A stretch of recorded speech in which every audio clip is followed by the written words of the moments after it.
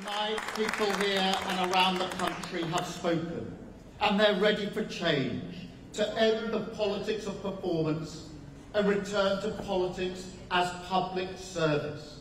The change begins right here, because this is your democracy, your community, and your future. You have voted. It is now time for us to deliver. Thank you very much.